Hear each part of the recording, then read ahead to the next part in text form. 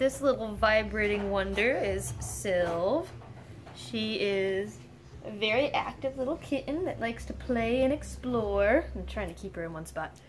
She is, as you can see, she's used to dogs.